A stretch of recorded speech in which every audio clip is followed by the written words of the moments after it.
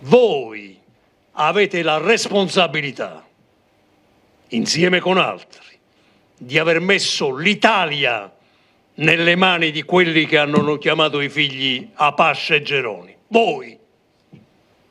Nessuno che abbia avuto l'onestà intellettuale di farsi un'autocritica. Eh, sono dieci anni che vi sto dicendo, guardate che la domanda che pongono a me i cittadini è per quale motivo devo votare per quel partito? Dammi un motivo, una proposta programmatica.